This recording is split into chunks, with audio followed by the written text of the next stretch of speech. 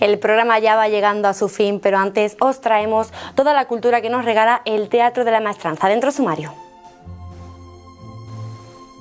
La Bella Susona llega los días 13 y 15 de marzo en un estreno absoluto en el Teatro de la Maestranza.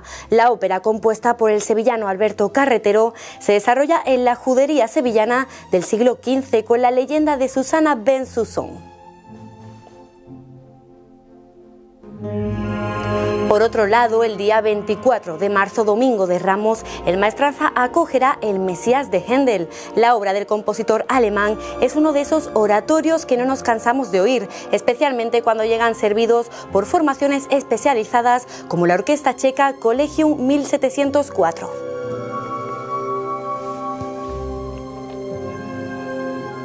El Teatro de la Maestranza acoge los días 13 y 15 de marzo la obra La Bella Susona, un estreno absoluto compuesto por el sevillano Alberto Carretero. En la judería sevillana del siglo XV, Susana Ben Susón traiciona a su padre contándole a su amado un complot organizado por su padre. Estas fueron las palabras del director en cuanto a la obra. Nos parece una propuesta estupenda el volver a la ópera, el Teatro de la Maestranza, y una ópera que además es una absoluta novedad, pero es novedad porque no se ha escuchado jamás. Es la primera vez que, la Bella Susona va a sonar en, cualquier teatro del mundo, lo hará aquí en Sevilla, en el Teatro de la Maestranza, y, además, bueno, pues una ópera sevillana que cuenta una, historia eh, muy, muy teatral, muy, muy, muy sevillana también, que sucedió eh, históricamente en esta, en esta, ciudad, que aporta una nueva obra a ese gran número de títulos, ya más de 150 títulos inspirados en Sevilla y en este caso además con la música de un compositor sevillano, Alberto Carretero.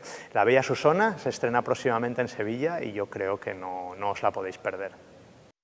Y qué mejor que comenzar un domingo de Ramos disfrutando del Mesías de Händel, una obra que aunque fue vinculada a la Navidad, su origen británico está en la Semana Santa y Pascua, un combo que se ha convertido en la obra europea barroca más solicitada para festivales y programaciones.